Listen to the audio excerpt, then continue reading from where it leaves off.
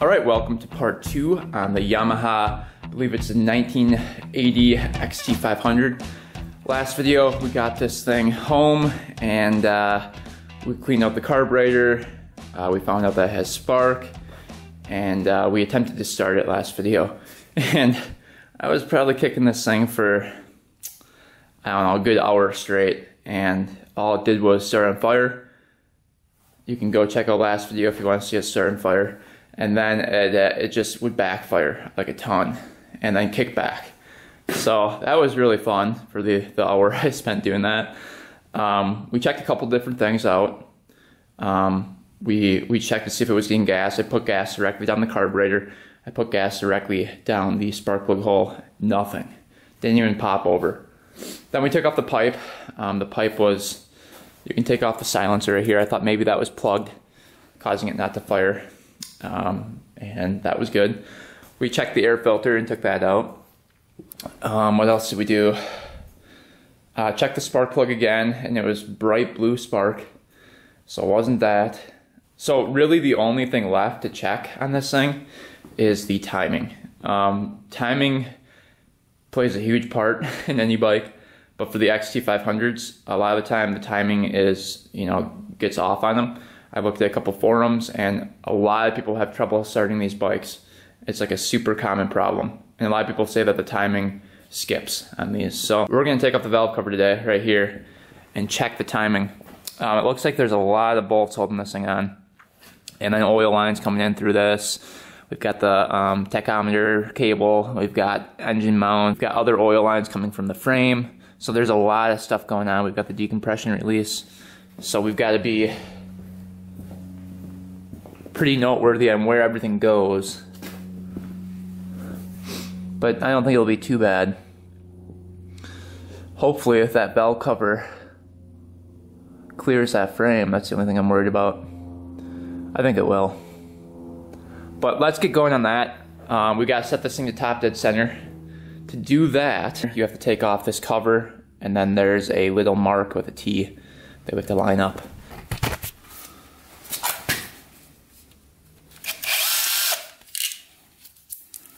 Cover comes off pretty easily. Just a couple Allens on here.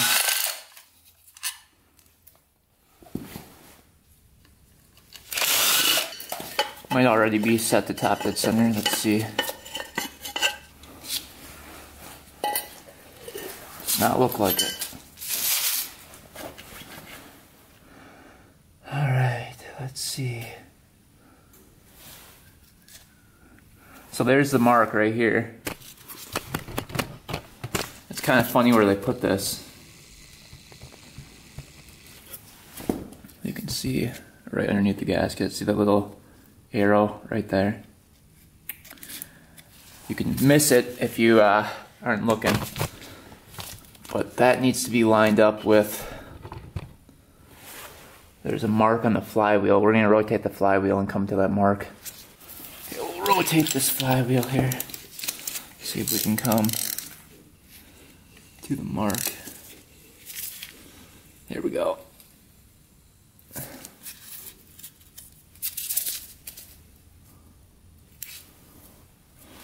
Right here, you can see the T. And it's the line right next to the T.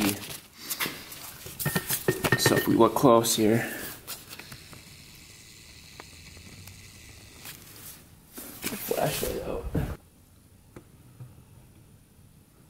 There's a line right next to the T. Right there. So that's where we're gonna line up that arrow. So right now it's lined up. We're gonna check down the spark plug hole and make sure that piston's at top dead center. So if we look down the cylinder here, I don't know if you guys can see that. You can see the pistons right there. That's uh, at the highest point. I just rotated the crank again, and uh, that's right at the highest point. So we know we're at top dead center right there. So what we can do is start taking apart the top end here, see if we can get to the cams and everything. I guess we just start unbolting everything.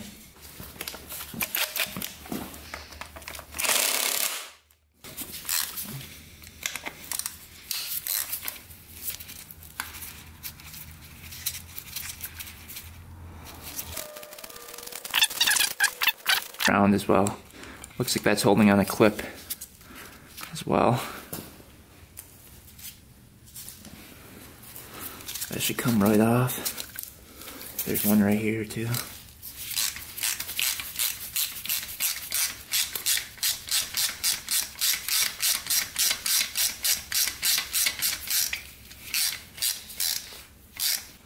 All right, we can see the engine mounts off. Let's get some of these hoses off now.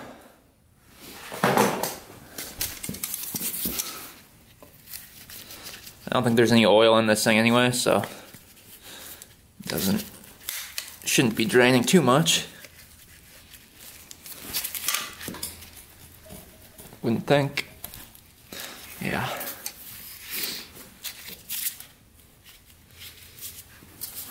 Then there's a 10 mil holding in this tach.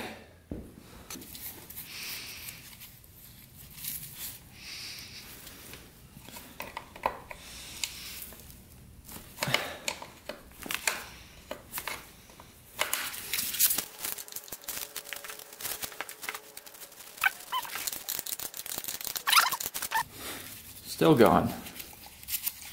There. And that's held on by a screw right there.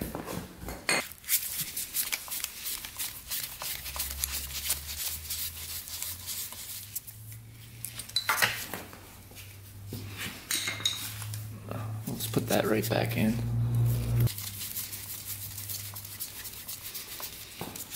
That line's out of the way. Let's try to get this 10 millimeter right there off.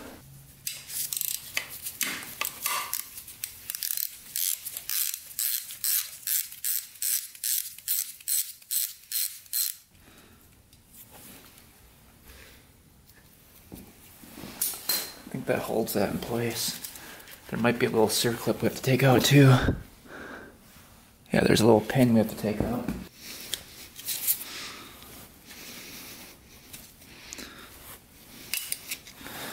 This little pin right there. You guys can see. That was holding that wire in. Now this should pull out. That. Get that out of here. Okay. That's out of the way. Let's get this tube off the rest. Let's get this line off.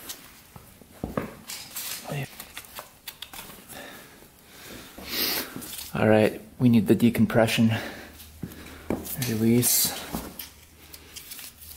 Held on by an Allen right here.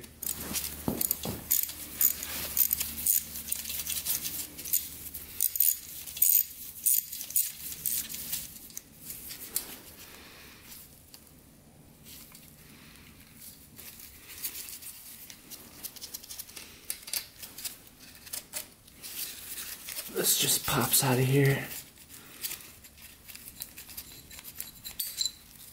There. We can put this back in.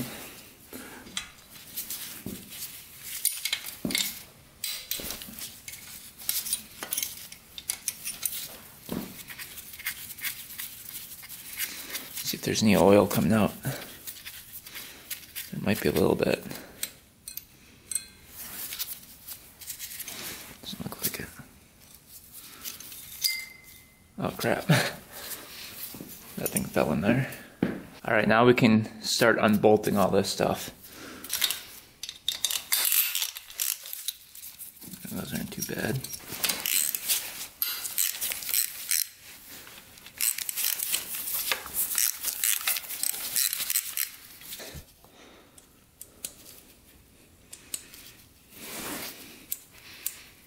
Kind of difficult to take off.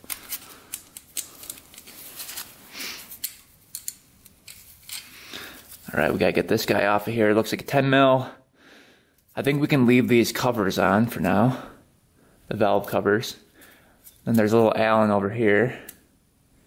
And a couple other 14 mils on the other side. It's not, not too bad. Okay, I think everything is off the valve cover. Let's give it a little tap with the rubber hammer. See if it pops off.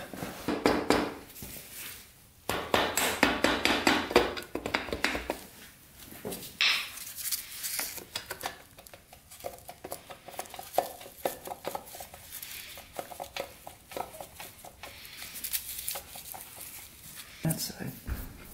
Huh. wonder the engine down.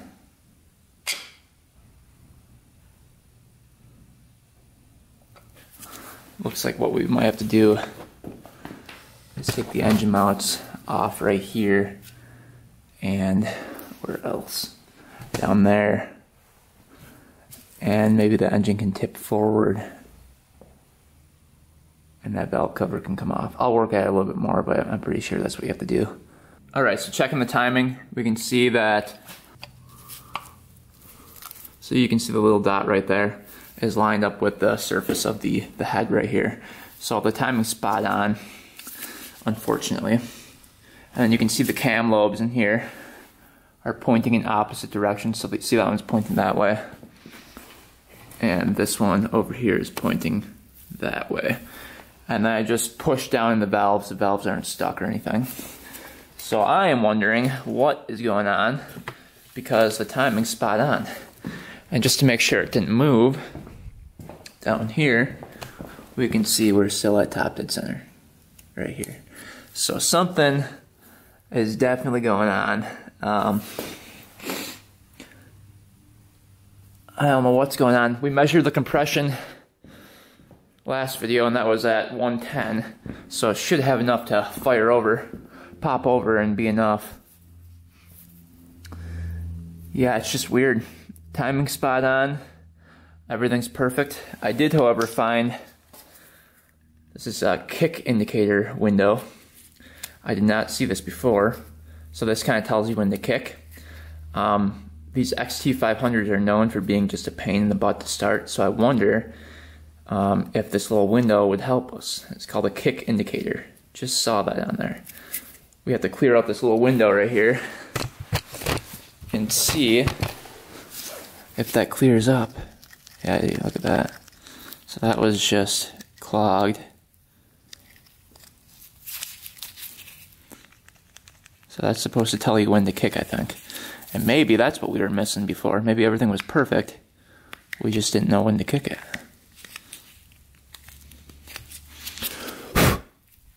So maybe that'll help.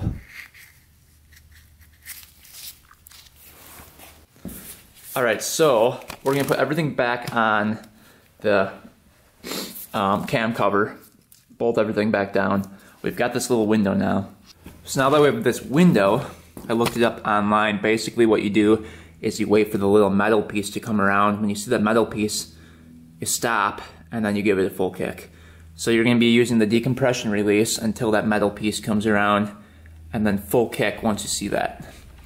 That basically signals when you've got like the lowest compression, the lowest resistance in the cylinder. So then you can kick it over and it will spark right at that time. So I'll show you guys when I spin over the engine here. You can see right now, you can see the metal piece through it. I'll rotate the engine here. You can see it disappear, see that? It's kind of hard to see. Oh, looks like it's in gear right now. But uh, it'll come back around and right when you see that, you give it a full kick. All right, here we go. We're gonna follow the right procedure. We're not gonna give it any gas whatsoever. Let's see if she fires up.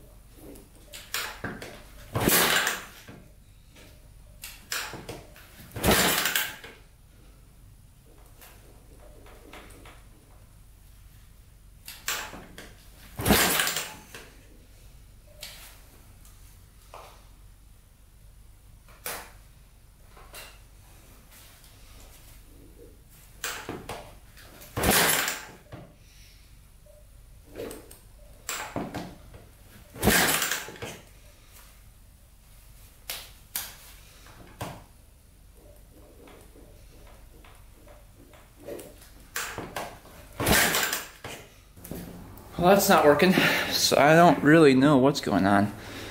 We're gonna play with it a little bit more. All right, let's try this again with the choke off. see what happens here.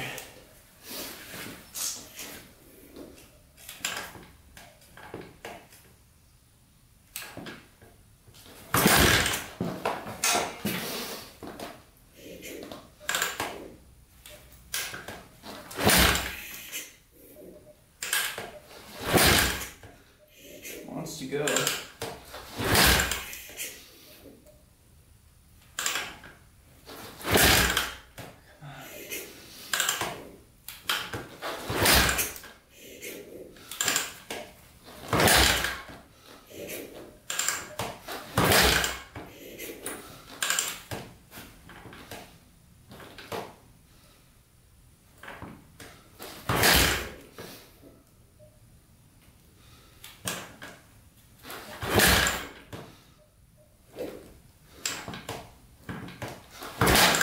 Oh, she just fired up.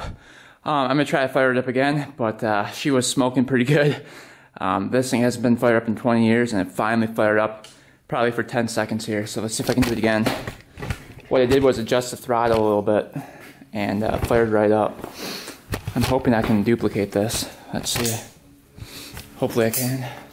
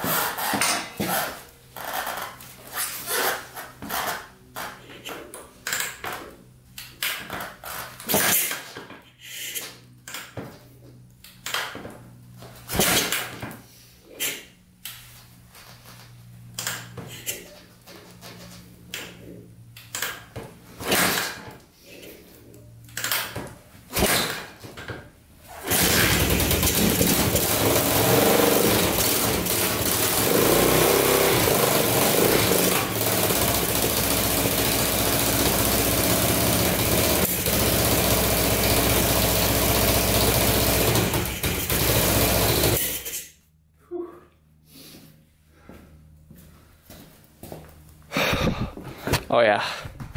I think we're close, guys. She fired up. Smoking pretty good though. We're gonna get this pipe back on here, tighten everything back down, and I go from there. Let's see if we can get this thing to idle. We're, we're pretty close. Then we gotta do some oil change on this, because I don't think there's much oil in it. So, let's kick it over again, see what happens here.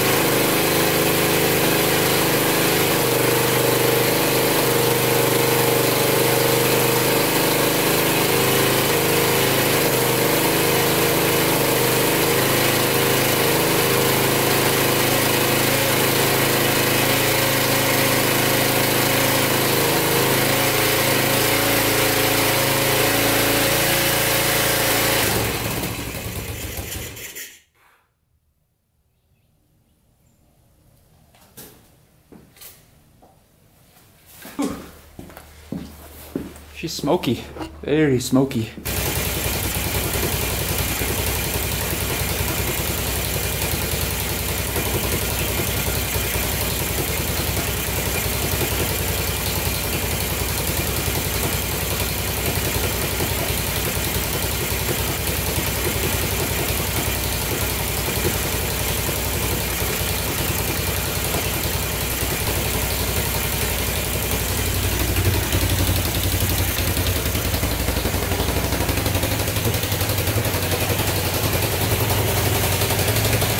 idling pretty good now. I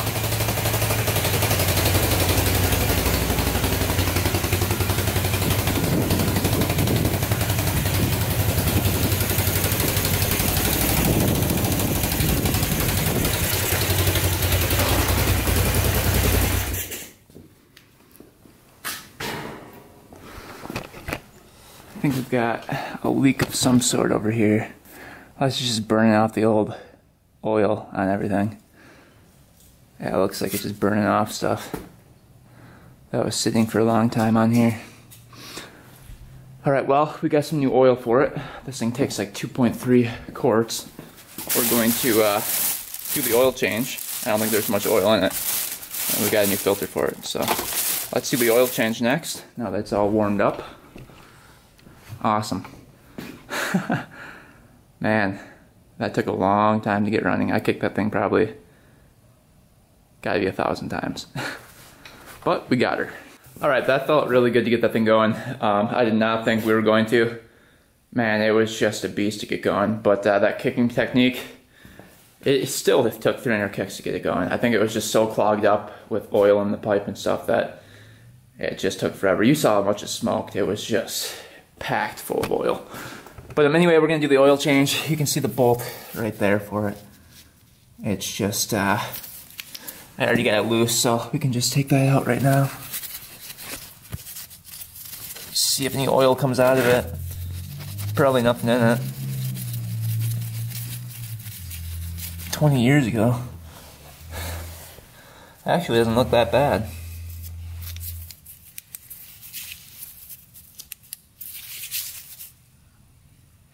Not a whole lot in there. They're supposed to be almost three quarts, so we'll let that drain. And then we gotta get this filter out too. Sitting right here, I wonder what that looks like. All right, so the oil doesn't look too bad. Um, I don't see any metal chunks or anything coming out, so that's a good sign. Kind of get a little on my finger. There's no metal shavings in there or anything. It's pretty clear.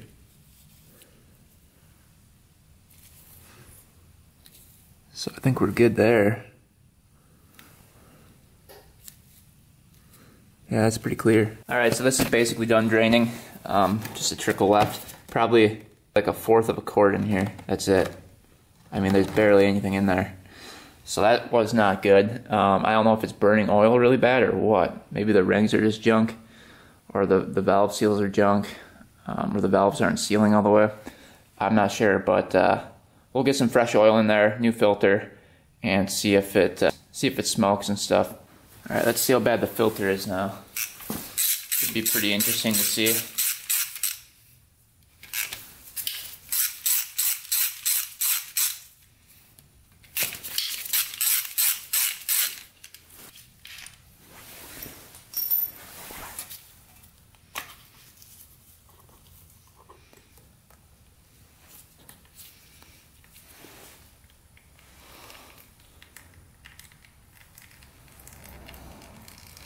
little oil in there. I think there's some metal chunks though. Oh, maybe not.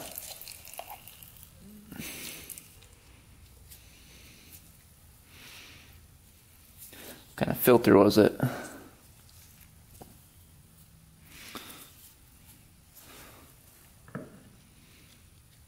right, well that looks pretty good. No metal chunks in there either. Let's kind of wipe that out Let's see what's going on.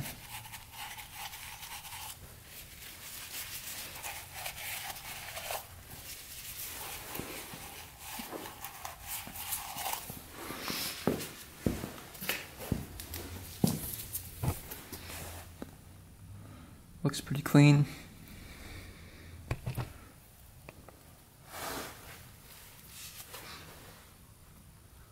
Nothing too bad in there. Well, looks like the filter matches up perfectly. You can see.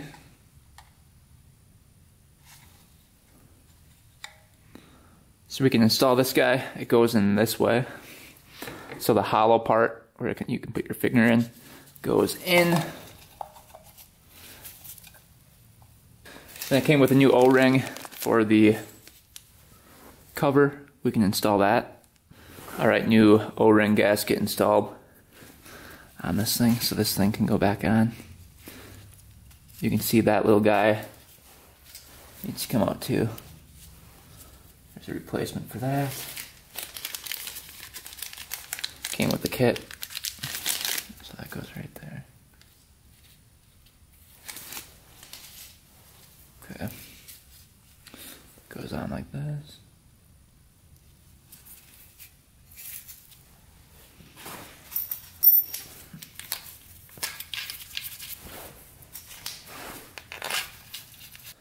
Two point three quarts of oil going in.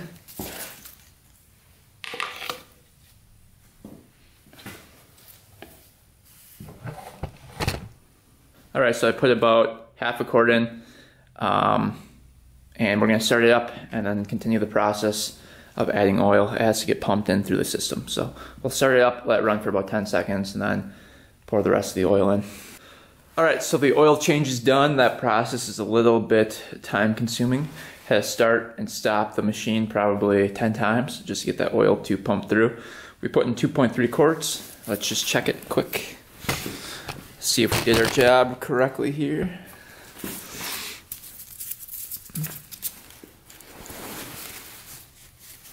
It should be filled to the full mark. And we're perfect. All right, so that's good to go. Next step is getting on the tank and the seat.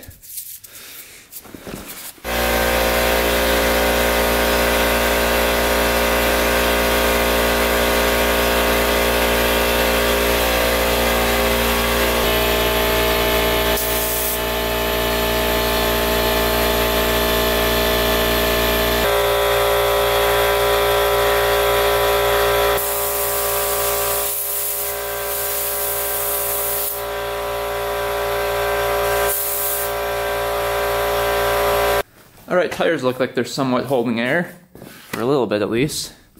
So that's good. Yeah, they'll hold air for a ride. Awesome. All right, let's see if she starts back up, and then let's take this thing for a little rip. Should be pretty fun. Hopefully, like I said before, the clutch works. Get some gas in it.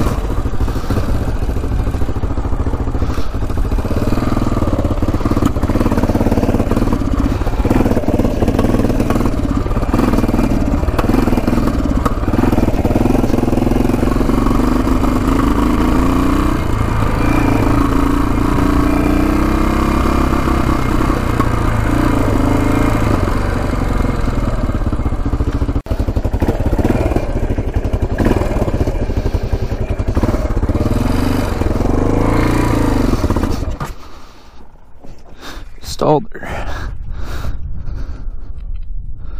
Huh.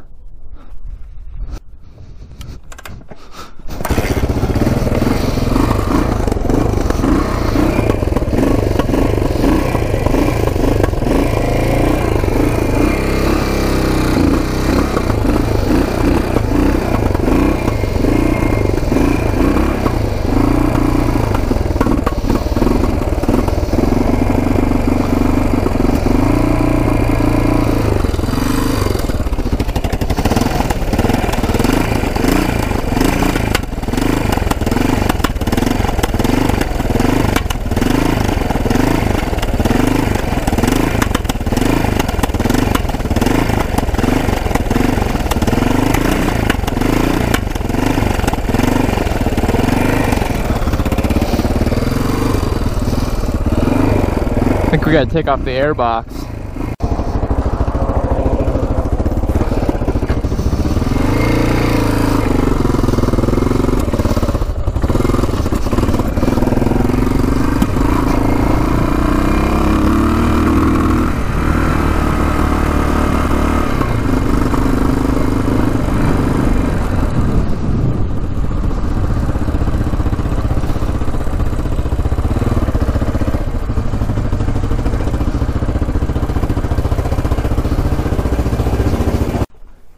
So I'm thinking the air box is restricting it.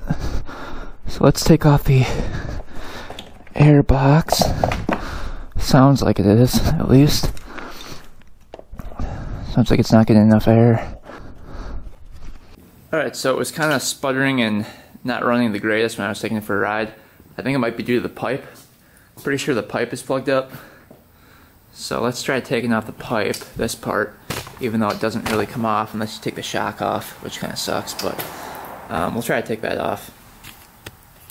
All right, first ride uh, wasn't the greatest in the world. Um, it just wouldn't rev out. I ended up taking off the pipe, it didn't help. I ended up taking off the air filter, didn't help. And then I saw this, a little leak of oil right there, and I came over and inspected. Check this out believe it has a base gasket leak. You can see it's leaking out of the base gasket, so I'm guessing either the gasket blew or something happened. You can see the gasket's all wet underneath here. So it probably needs a new gasket and pro probably needs new rings and a rebuild, honestly. So I don't want to ride it any further than what I did because I don't want to wreck it. Um, but yeah, it definitely needs a new base gasket. So, yeah, you can see in there. You can see the oil coming right through that gasket. So that's not good. So that's causing an air leak and it's just running crappy. But yeah, at least we got it running today. Um, the trick was basically to was to hold down the decompression release and then look through the window right here until the little metal piece comes by, then just give it one full kick and it starts every time. You have to be like exactly where it needs to be though. This bike is very, very picky on where it needs to be to start it. But once you get it down, it starts every time. So anyway guys, hopefully you enjoyed the video.